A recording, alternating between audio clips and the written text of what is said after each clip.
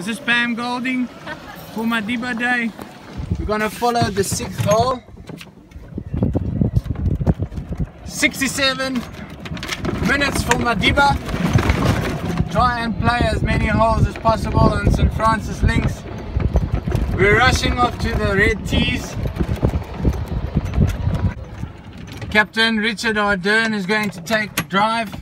Uh, the three wood and a three ball, please. Alright, a, a ball. playing partners are already rushing to the fairway.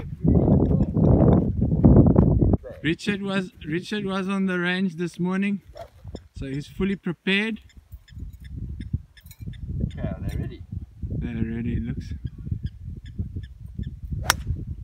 Woo! Neil, it's coming right over your head! Oh! Beautiful! Okay, we're on.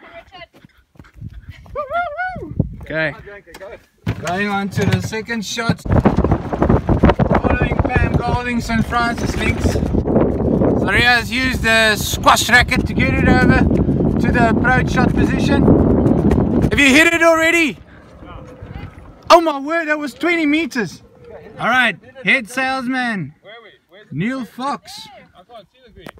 There's a flag flying over there. Over there. Yeah, go, go, go. Okay, go. There's five wood. Five wood. Go through the. Oh, we're in the bunker. Someone used the squash racket to get out of the bunker. Then it's me, I think. Yeah, yeah. No, no, yeah. Richard, it's you. But uh, Jancke, hit it out there and then but keep it out there. no problem. I'm walking. Woo, that's a high one. Mooi. Kan je die wachten? Well Kan je done.